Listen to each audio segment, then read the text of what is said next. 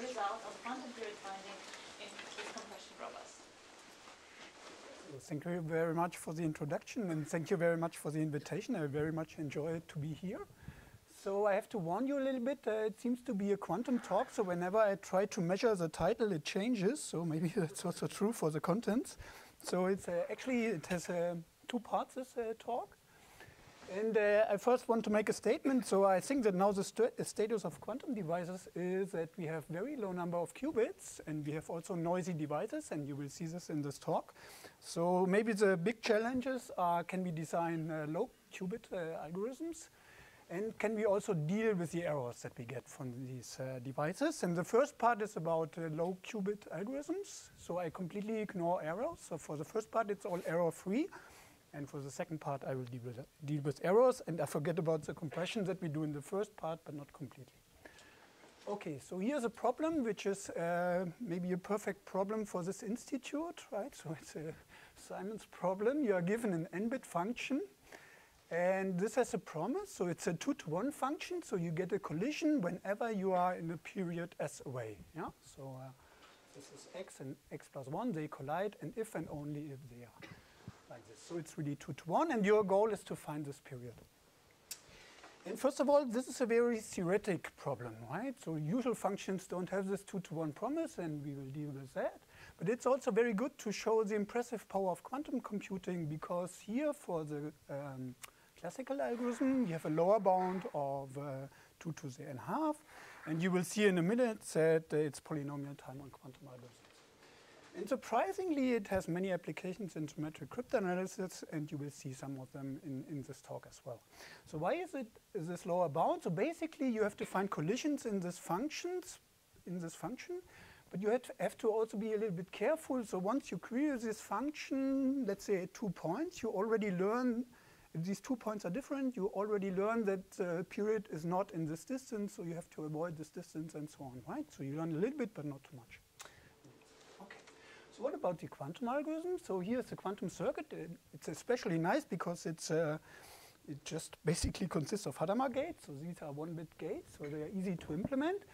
And then you have this universal embedding of the function here, and the universal embedding just is a reversible embedding. And for now, we think of it as an oracle, but later we will also instantiate this. Okay, so what does the algorithm do? So it creates a superposition here so this is uh, just the situation after this uh, function evaluation. So we have a superposition over all x. I omit the amplitudes, but it's uniform. And since it's 2 to 1, it collapses x and x plus s, right? These two guys. And notice that the only point of this function is here is just to collapse these two guys, right? So we measure in these first n qubits, which I call the input qubits of this function, and these I call the output qubits because they are they just hold this f, f of x, but the algorithm doesn't really care about the value of, f of x. It's just the purpose that we have to collide the inputs to this, and then we do some quantum magic with these other Hadamard gates, and then we get a superposition of all vectors that are just orthogonal to S. And the nice thing is then if we measure the, some y here, then we know it's orthogonal, so we measure like a linear number of times. We get a basis of the subspace that's orthogonal to S, and we are done, right? So this is the algorithm. So the algorithm is basically then Gaussian elimination here to get uh, the subspace orthogonal to this, and then we compute S. And you already see that it requires two n qubits, so n input qubits and n output qubits. But I already said, well, these output, output qubits, they are just for for function evaluation and for collapsing the inputs. And we, uh, we only measure the input qubits. So maybe there's uh, a little bit uh, of a chance to save on these output qubits, right? Okay. So that's our goal, to save on the output qubits. So, and we will see that we can actually do pretty well. So here's uh, the, the algorithm in action. So the period is like this. So whenever we measure, we get a vector which is orthogonal uh, to this guy. These guys are all orthogonal to this, and we get the uniform superposition, so everyone is measured with uh, probability 1 over half, uh, 1 over 4. Right? Everything fine with you so far? So So let's look at the application. So here's a very famous application. So this is the uh, famous Even-Mansour construction, and it's used to construct a PRP, so a, a keyed pseudo-random permutation, and it's very simple, and actually it's also secure classically, but not quantumly. So what you do is you take a permutation on n bits here, this p, it's unkeyed, and you key it just by XORing K1 and K2 at the beginning and at the end, and that's it. Huh? So it's a very, very simple construction, but it's not quantumly secure, and it took a long time. I, I think this is a very elegant idea to see why it's not quantum secure.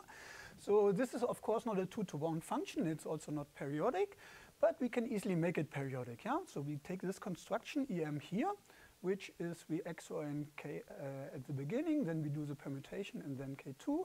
And now we take a plus uh, px. And you already see it's symmetric now, right? So uh, this has some symmetry. So if I evaluate at the point x uh, plus k1, then these two change and it gets uh, a period. So this is very, very nice observation. So, but of course we don't have this two to one promise. Yeah, there could be more collisions now in this function. And there was a series of papers who showed, well, these more uh, collisions, they don't really hurt, right? So we can still apply Simon's algorithm, and you, we really don't need this two-to-one promise from Simon's functions at the cost of just a few more measurements that we do. Okay, so that's, that's a pretty good observation. So now our idea was to, to make it more extreme, yeah? So what about if we take the function value fx and we hash it down, let's say, to a single bit? Yeah? That means we have uh, lots of uh, collisions now, not as before, but are now a lot of conditions. So this H is taken from a universal hash function family. So that basically means, so you get a collision with probability one half, taking over the randomness of your choice of the hash function. And the simple observation is, well, if you are a period away, then this is still preserved by the hash function, of course. Yeah? So once we have collisions, uh, they also collide under ha the hash functions. But the other uh, direction is, of course, not true. So we have uh, collisions all over. And the question is, how much do we suffer from these uh, many collisions? And the answer is, uh, well, not too much. Yeah.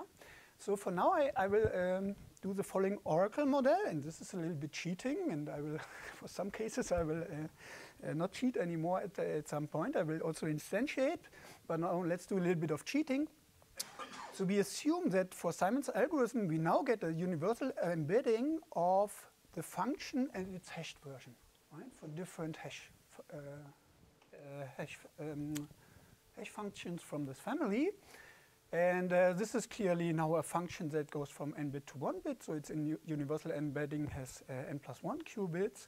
But it's not clear to how to realize it memory efficiently. So the naive way is you first compute f, but then you already use the full number of qubits, and then you hash it out, and then you didn't save something, right? So the question is, can we do it for some proper hash functions and so on? And we'll see sometimes we can, sometimes maybe we can't. Okay, so but now uh, let's do oracles, yeah? So our hashed Simon algorithm is now the following. So we take the Simon algorithm from before, but now we take uh, the hashed versions of our functions, and it acts now on n plus 1 qubits for some freshly chosen hash function. And again, we collect uh, vectors until we have n minus 1 linearly independent vectors, and then we compute the secret, key, uh, the secret uh, period s of this function. So let's uh, see what it does now. And instead of giving you theorems uh, at the beginning, I just want to give you examples. Yeah? So we took a special hash function now, and then we measured and we uh, observed uh, the distribution. So here you see the distribution, and what uh, you should already observe is that we get only peaks for the hashed version. So the orange one is the hashed version, whenever we had peaks before. But some are missing, yeah? So for instance, this guy is missing here. Okay, well, maybe not so, not so important. Well, zero is uh, measured more often, which is pretty bad because it's, uh, it's useless. we already know that it's orthogonal to our secret, but uh, anyway, okay. This will uh, continue. So you see zero is more often. We get different distributions and like this. We can also have only two peaks, so some peaks are missing. But if we average over all the hash functions, what we get is actually this picture. Yeah. So it seems that uh, the peaks for all non-zero vectors, they are just halved in probability, which is fine for the algorithm because you just lose a factor of two and all the probability mass go, goes actually to the zero vectors, the, the missing one. Yeah? And this is actually what we can prove. So what you can prove is, first of all, this uh, correctness statement, orthogonality. You measure all uh, only those states that are orthogonal to us, unlike in, like before in Simon's algorithm just with a different uh, distribution. And for those that are not the zero vector, you now have probability 1 over 2 to the n. Before you had this, but this doesn't hurt you very much.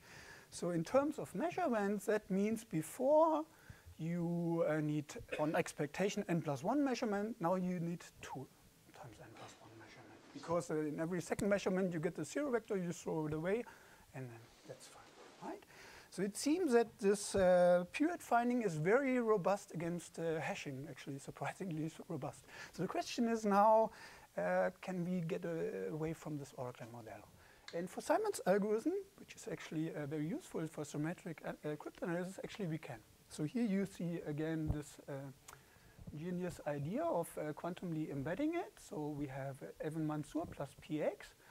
And now let's use this universal hash, hash function family, which is uh, known uh, as a Goldreich-Levin predicate for the crypto guys, but it's uh, also very much known otherwise. So you take a random vector and you just take the inner product. So it's a linear hash function family, it's universal. So what we do now is we compute this guy here in place. So this is a permutation. So this is the uh, Simon's algorithm stretch out. So it's a Hadamard. Then we compute uh, the permutation.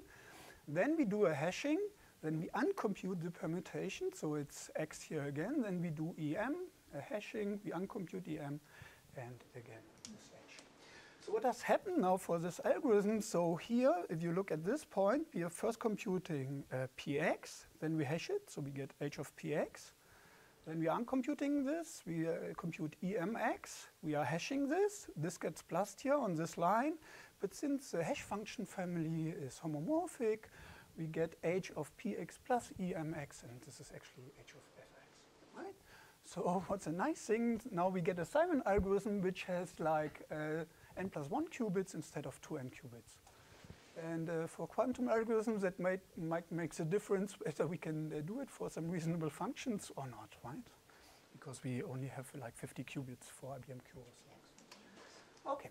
So this is nice. So, um, so what about uh, other algorithms that are similar to this, right? So for Simon's algorithm, we already know. But uh, if you study Shor's algorithm, you know it's kind of a generalization. So uh, you, you see it's Hadamard again. It's again this embedding. But now it's a specialization of the Hadamard, so it's QFTs. it's more general. So that's what you do for integers. So can you do the same thing? The f function is now uh, this ax mod n. Well, and is a small n is a, the bit size of this n. So for now, all the literature concentrated on reducing uh, this number of qubits. Yeah? So in the original Shor, you had this 2n because you, we were using continued fraction to extract the secret, but you can also use simultaneous di di Diophantine approximation, and then you get it uh, down to n, or like uh, Martin Ekerå, who's also here, showed that for RSA moduli, uh, you can have a different period. So you take this, this goes down to uh, one uh, and half. And there's also an algorithm uh, due to Mike and uh, Ekerå, who actually brings down the number of uh, input qubits to one. That's very impressive, and you will see this algorithm in a minute. So how does it work now? Yeah, so, and instead of giving you theorem, I just give you pictures again.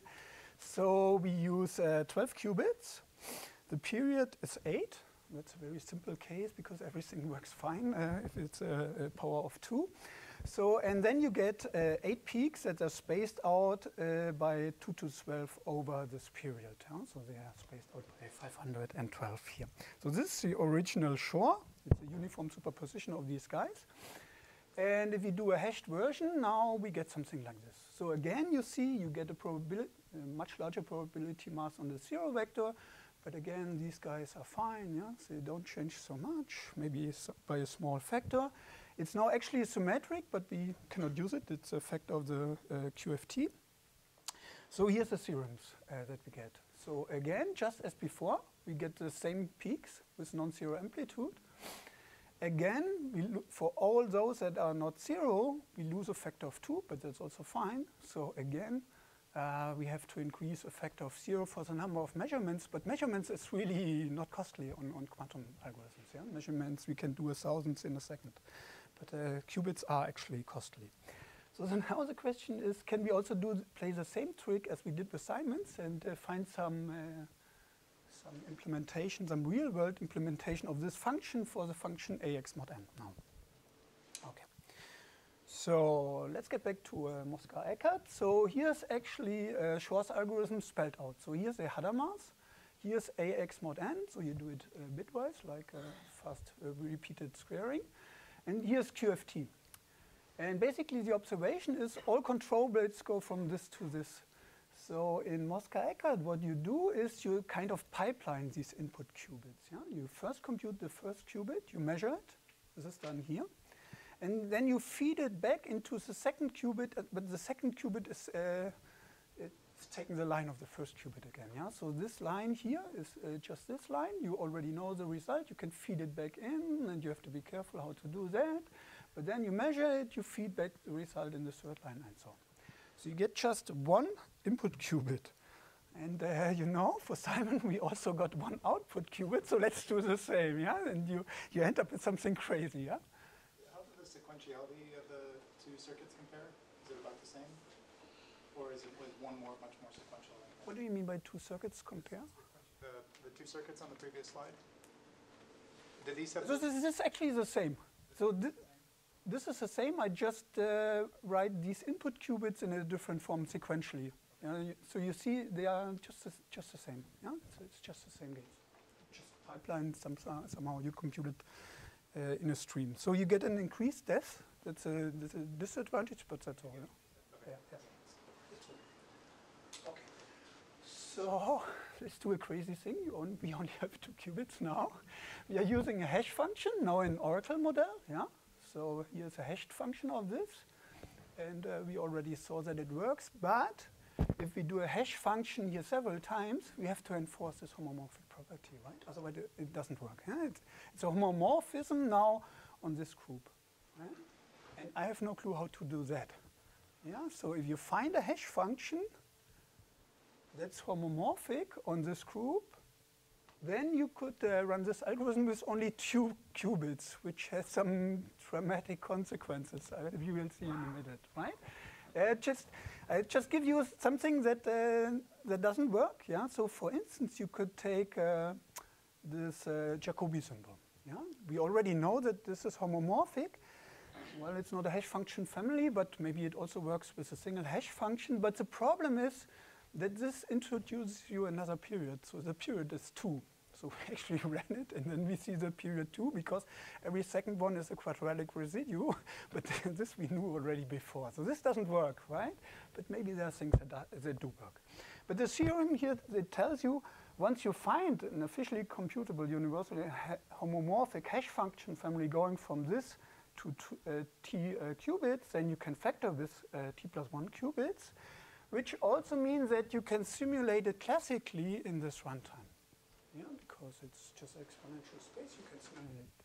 So that means if uh, t is as small as log log n, then you can factor in polynomial time. Maybe people don't believe that, but I get uh, already, uh, yeah. Just a pedantic uh, correction for the video. You do the a to the fourth and then a squared and then a to the one.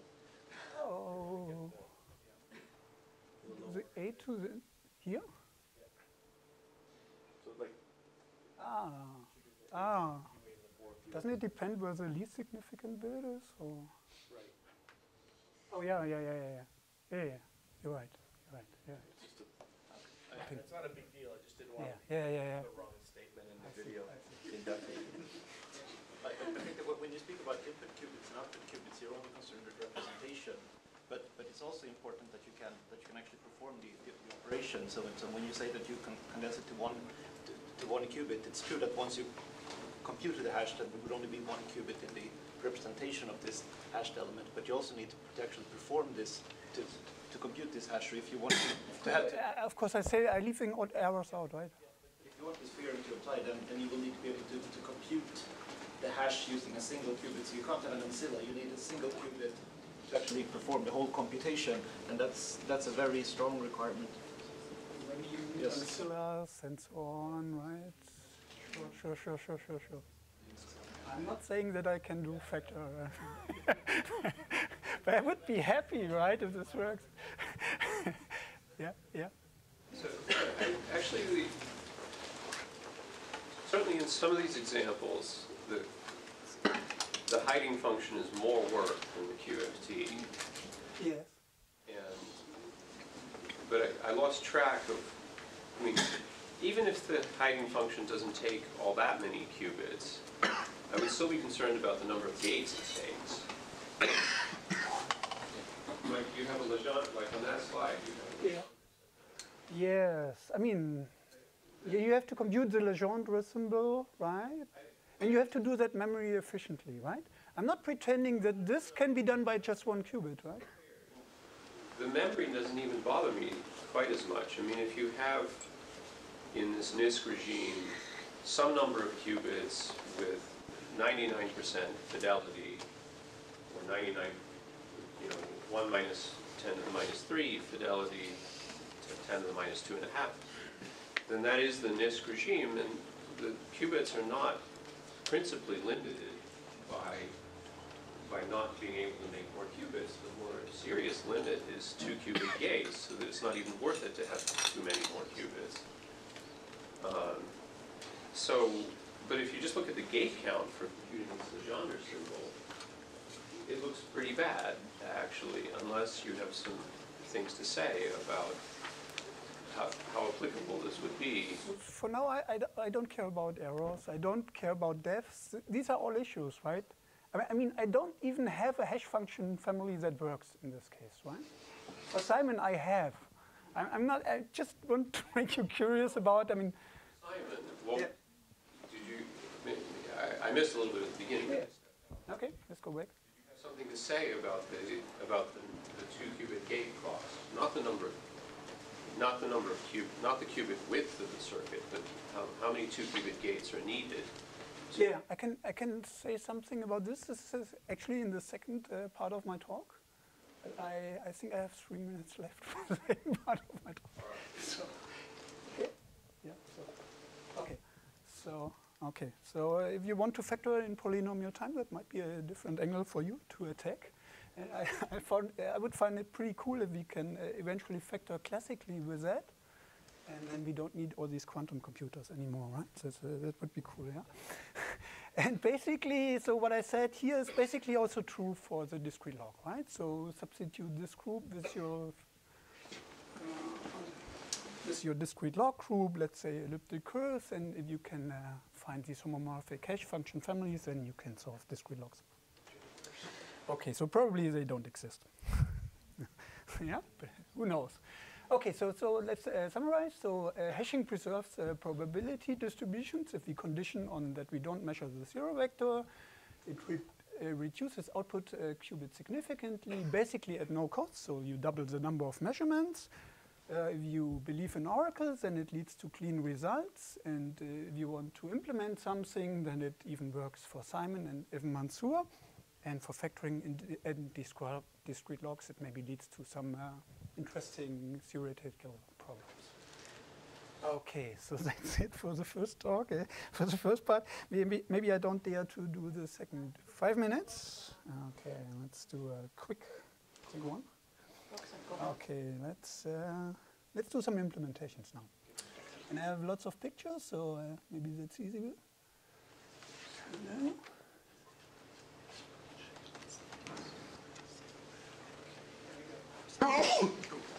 Okay, so that's uh, noisy Simon period finding. We are again uh, here, and now we want to really implement it. Yeah, and I don't want to do this compression. I just want to implement it as it is, and uh, I want to see the errors, and uh, how, uh, I want to uh, show how to deal with the errors.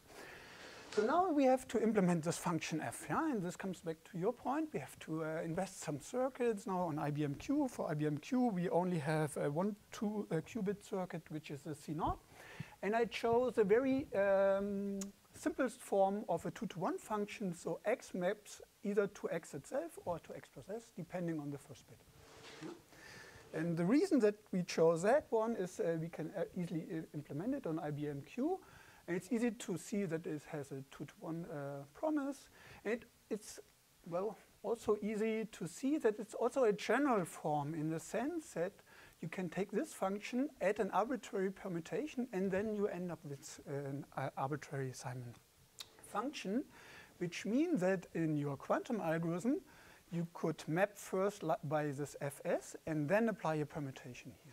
But I already told you the Simon algorithm doesn't really take care of the function value here. So it works if you permute it here or it works without, right? And we chose to have it without because we don't want to increase the error so much. Okay, so but the warning is classically it's not hard because the function value tells you s. Okay.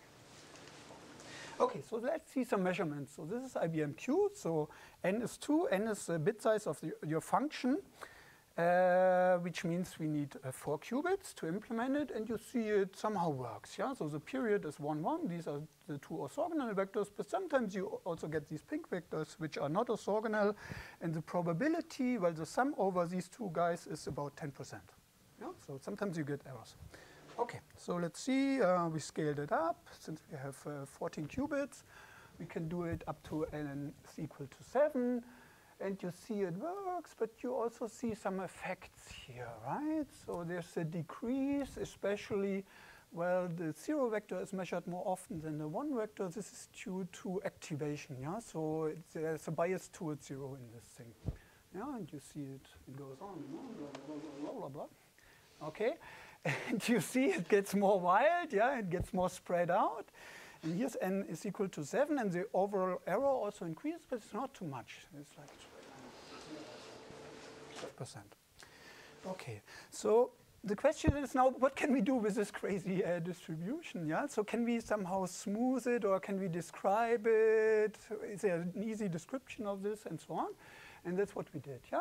So the good thing, experimentally, we, we saw we get orthogonal vectors more frequently.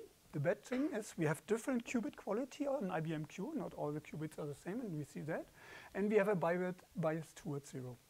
Yeah, and there's also inherently the error that we have, it grows with, the, uh, with as a function of n because we have to uh, use more gates to implement it. Yeah? And gates cost us something, yeah, and especially two-bit gates are very costly. So here's again n is equal to 5, and now we use some classical post-processing to smooth this distribution, yeah, such that we can maybe easily describe it. So what we did is we did a permutation of qubits and some more classical post-processing, and I only show you results because I don't have time. So here's after permutation, you already see it smoothed a little bit, yeah, there's not so many peaks. And then there's another uh, classical post-processing where we get some, some distribution like this. And this is almost perfect. Because now, with a certain probability, we get the orthogonal ones and we get the non-orthogonal ones, and they're kind of uniformly distributed. Okay. So what we get now, after the smoothing, is uh, a problem that we call uh, learning Simon with errors, so LSN. and uh, you know, it's very similar to another famous problem. So with a certain probability, uh, this tau, here we get uh, the bad vectors, which are not orthogonal, but with 1 minus tau we get this. what uh, is a surprise to me is that actually this weird distribution that we got from IBM Q can be really smoothed into something that is LSN. So it's uh, only describable by a, a single error parameter. And the question is now, can we compute S? So here's LPN, and you already see the similarity, so it's very uh, similar to LPN. It's almost a trivial reduction between both. So basically what you get here is you get uh, is labeled with zero here. Yeah, here you get inner products, which are somehow faulty.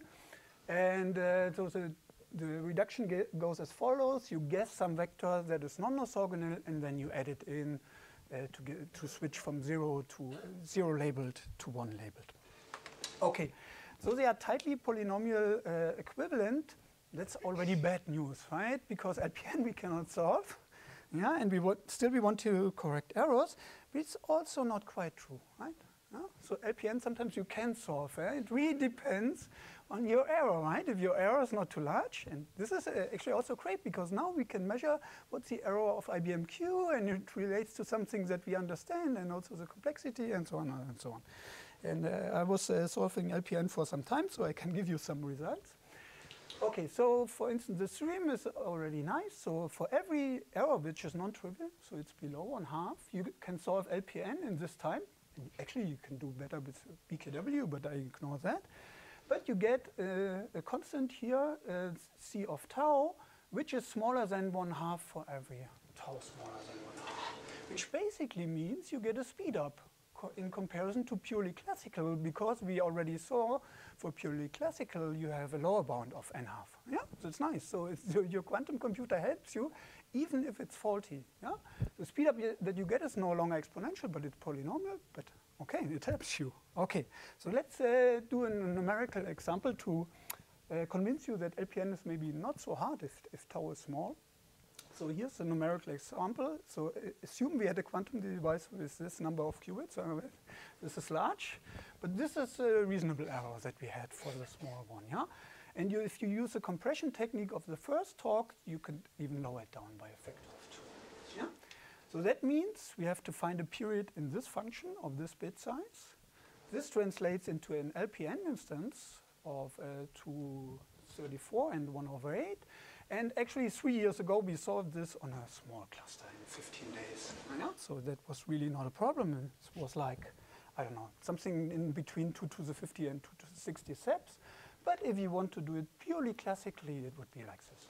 Yeah? So you would really would get a speed up if you could uh, build something with, with this arrow. And obviously the question is uh, when is the break-even point? Yeah. So that's why I'm interesting to use uh, larger devices of IBMQ. So uh, here's a very unfair comparison that we, we made in the paper.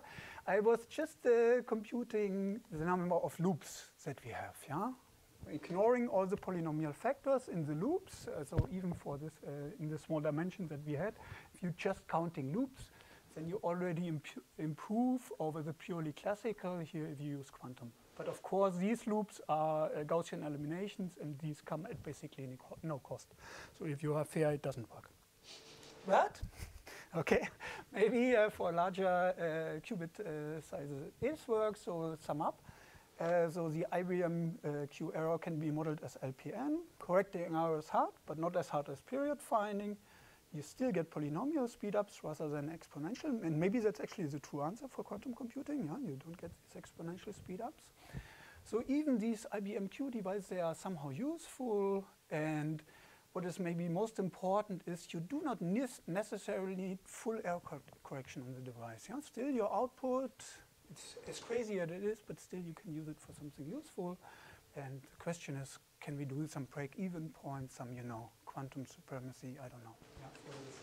And that would be a problem which is maybe interesting for more people than maybe the, the problems that, that are around for now. I don't know. I mean, there's lots of interesting problems around, but we saw this quantum supremacy of, of Google, but people were criticizing that this problem is really, yeah, really not a very super important problem.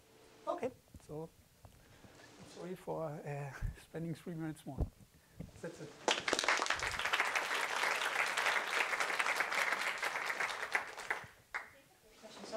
And we restarted quarter to, uh,